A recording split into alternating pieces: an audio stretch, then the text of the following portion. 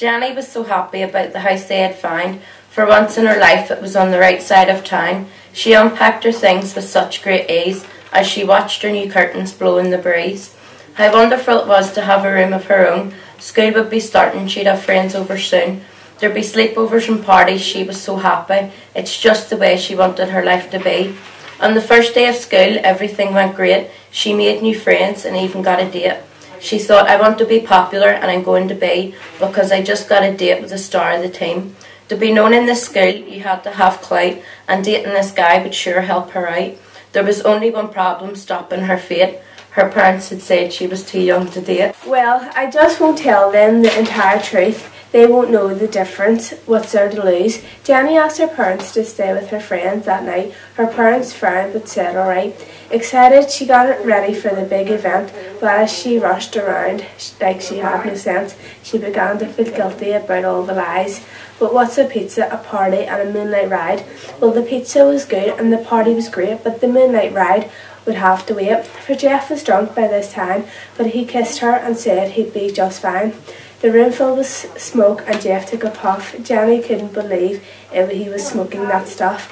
Now Jeff was ready to ride the point, but not until he had another joint.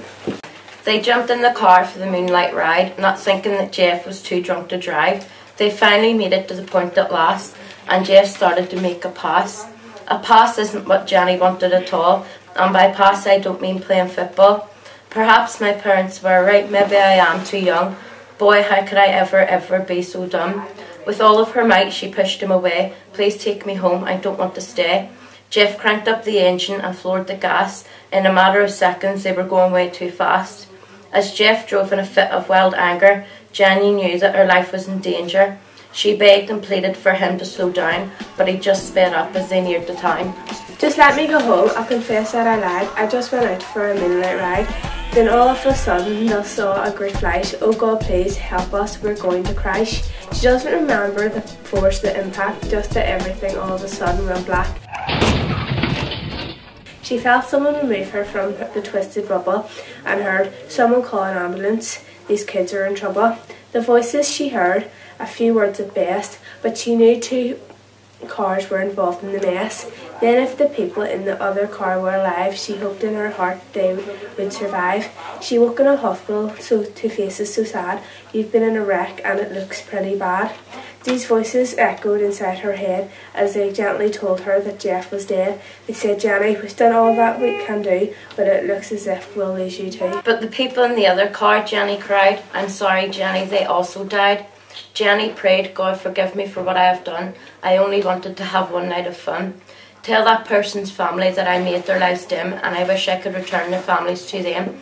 Tell mum and dad I'm sorry I lied and it's my fault so many people have died. Oh nurse, won't you please tell that to them? The nurse just stood there, she never agreed. She took Jenny's hands with tears in her eyes and a few moments later Jenny died. A man asked the nurse, why didn't you do your best to bid that poor girl her one last request?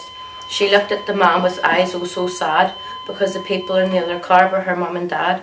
This story is sad, unpleasant but true, so young people take heed, it could have been you.